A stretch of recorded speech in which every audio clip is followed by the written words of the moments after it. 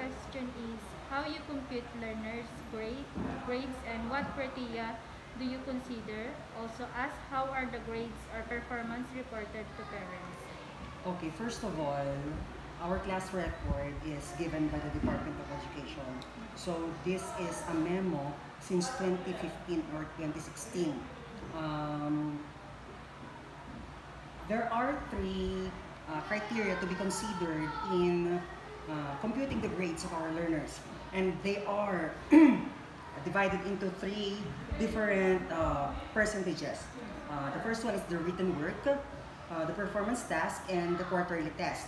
Uh, by subject learning area, there is a different way of, um, there are different ways in computing the uh, percentages. For example, in in languages just like um, English and Filipino, same as with ESP and Araling Panlipunan, for the written works, um, that is 30%, yung performance tax that is 50%, and then yung quarterly test is um, 20%.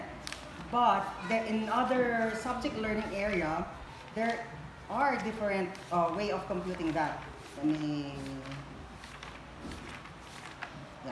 Uh, for for the performance task or the written works in um, science and math, that is 40%. Mag-iiba siya dito. Mag-iiba siya dito kapag ibang subject. And then yung sa MAPE at saka EPP, ang written works nila doon is 20% lang. For periodic test naman, for tawag nito, um, languages just like English and Filipino, AP and ESP, 50% yung performance task. Okay, yung performance task, andyan na. Yes. Um, tapos, uh, pag um, science and math naman, 40% lang yon. Tapos kapag MAPE at saka TLE, dahil ito ay mga subjects na talagang kailangan ng galaw-galaw, Yes. talagang output ang tinitignan, that is 60%.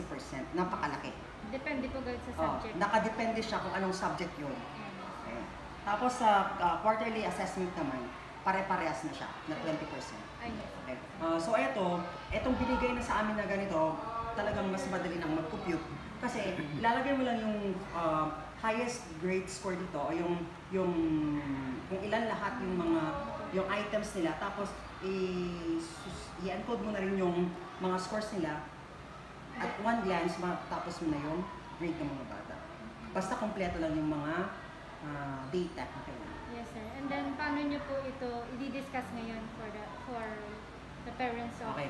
Uh, during um, orientation, at the beginning of classes, before classes actually, Yes. uh, nagkakaroon kami ng uh, parents orientation program wherein we are discussing the different rules, guidelines, and other uh, things to be discussed with the parents.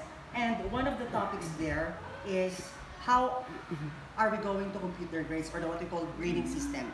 Um, balik na tayo sa dating way ng ng pag-grade. Unlike during the pandemic, walang quarterly assessment.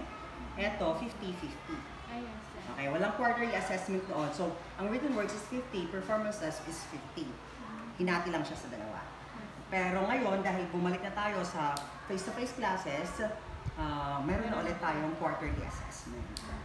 So, tapos pag ah, kakaroon, ah, at the end of the grading period, ang nangyayari dyan, nagkakaroon kami ng tinatawag natin na card day. Sinasabay na rin namin dito ang PTA, P- homeroom PTA, na kung saan dinidiscuss namin saan nga ba nag-excel yung mga bata natin, ano nga ba yung kulang nila, tapos nagkakaroon kami ng conference, one-on-one conference with the ah, parents na sa tingin namin yung mga bata ay kailangan nila ng ah, i-reinforcement sa bahay or kung mayroong mga tanong yung mga magulang, ayun, yung dinadala namin sila dito sa table, tapos i-discuss sa kanila yung mga nakuha ng mga anak nila. Sige, sir. Thank you, sir. Okay, you're welcome.